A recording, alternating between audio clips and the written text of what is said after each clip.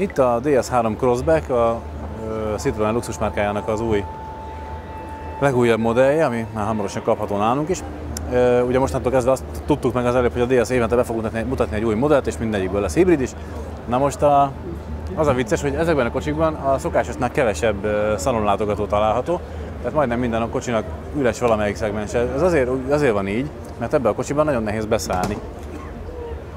Jó, ez már csalás, hogy kinyitotta a kilincsét, de ez nem mindig van ám így. Tehát ha akarom, akkor ezt így visszacsukhatom. És így kell kicsalogatni ismét a kilincset. Erre nem sokan jöttek rá szerintem, mert alig ül ember. A... Hát, jó értem, kettőször kell hozzáérni, hogy egyszer ki tud nyitni. Én akarom szeretni ezt az autót, Attila, ne legyél ilyen gonosz, de igen, erről van szó sajnos. A belsejében egy kicsit talán jobb a helyzet, mint a nagy tesóban, nem, nem, nem visszalegész, nem jobb a helyzet. Ugyanúgy övonal alatt megmaradtak a kemény műanyagok, övonal felett minden szép, látványos és, és jó pofa. Igen. Megmaradt az óraszíjszerű kárpit, amit a DS3-ból is már úgy szerettünk, ugye kifutott DS4-ben, DS5-ben is ilyesmi volt, és megmaradtak ezek a tanulmányautós romboid gombcsoportok is, illetve a váltókkal két oldalán ez a nagyon-nagyon tanulmányautós ablakemelő nem tudom, miért lehetne erre vágyni, az a baj. Tehát nagyon nehezen áll össze a fejemben ez, hogy a, a Citroennek egy luxus márkája, amit egyre inkább eltávolítanak a Citroentől, és a DS-ek már nem drága és nagy Citroenek lesznek, hanem DS-ek.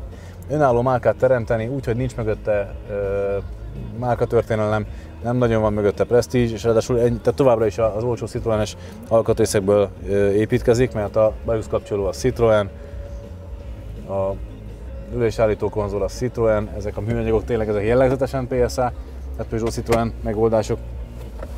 Nem lesz egyszerű erre a kocsira azt mondani, hogy Audi és Mercedes és BMW pótlék.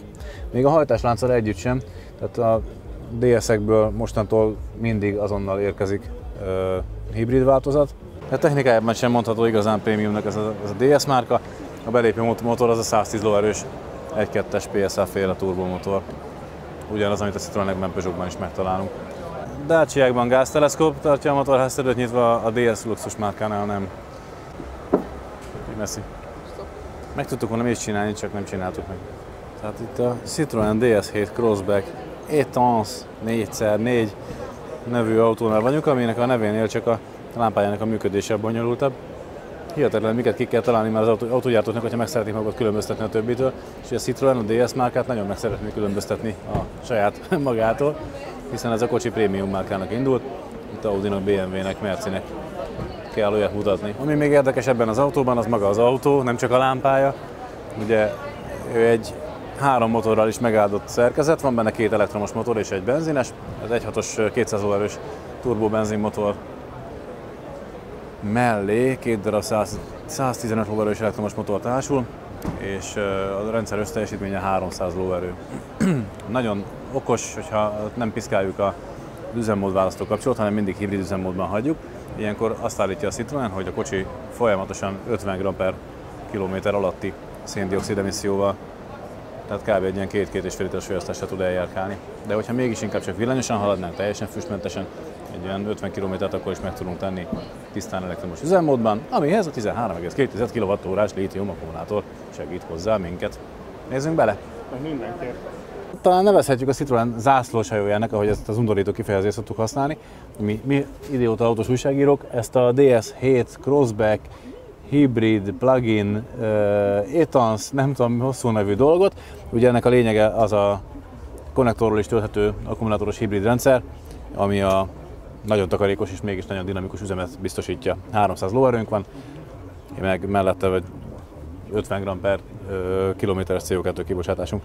A minőség, ennek a kocsinak egy prémium autónak kéne lenni, azért hozta létre a Citroen, hogy legyen neki is egy, hát egy audi mondjuk, mint a Volkswagen csoportnak az Audi, de ez az autó nagyon nem Audi. Megállapítottuk már korábban a műanyagokat az ajtón, hogy hogy néz már ki az a, az a hangszóró fedél beépítés ebbe a gusztustalan műanyagba, ott egy gyönyörű steppelt bőrkönyöklő alatt.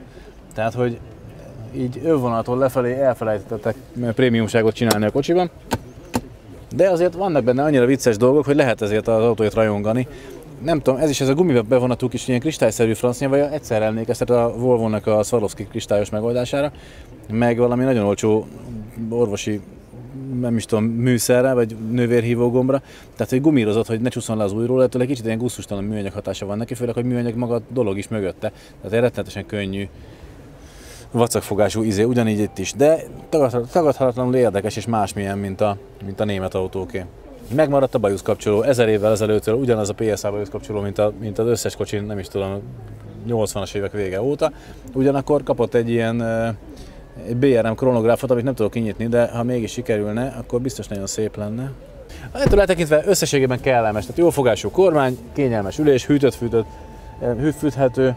Itt valamit csinál is a Attila ülés éppen, szerintem a masszírozó, masszírozó program indult be, tehát ilyet is tud az ülés, van kihúzható combtámasztal. Én megértem, ha valaki ilyet vesz, de hogy minőségben nagyon nem prémium, azt sajnos szintén elmondhatjuk. Csomagtartóban is ugye van egy ilyen, nem, nem az a prémium, nem az a, nem az a nagyon jó minőség, de vannak benne franciák is jó pofaságok, amiért lehet szeretni, hogyha felemelem a kalaptartót, akkor itt egy ilyen kis mechanikus bigyula ügyesen megtartja addig, amíg erre szükség van. És így férek hozzá a csomagtér alatti részhez. Itt a töltőkábel, itt pedig nyilván a hatalmas nagy akkumulátor, 13,2 kWh. Még egy apróságot talán érdemes megmutatni. A kedves nézőknek mutassuk? Persze, minden mutassuk. És aztán elmondjuk a végén, hogy iratkozzanak fel a YouTube csatornára. Igen, igen. Hogy a, van ennek az autónak kereke is, 19-es felnivel, ami manapság nem is számít annyira nagynak, de csak 200 a gumi szélessége. Tehát, hogy fogyasztásra optimalizált tipikus hibrid vagy elektromos járműves gumiméret. 255 R19. Szokjuk ezeket, mert ezek, ezek jönnek be. Ugye a kisebb felület miatt sokkal kisebb a gördülési ellenállás és jobb a fogyasztás. Na hát ez volt az új Citroen DS 7 Crossback Etans. Igen, hát te vezess YouTube, YouTube, YouTube csatornáján, ahova tessék feliratkozni mindenkinek, és most felveszem ezt a telefont, és elmegyünk egy Citroen interjúra, ahol megkérdezzük a Citroeneseket, hogy mikor lesz minden Citroen hibrid,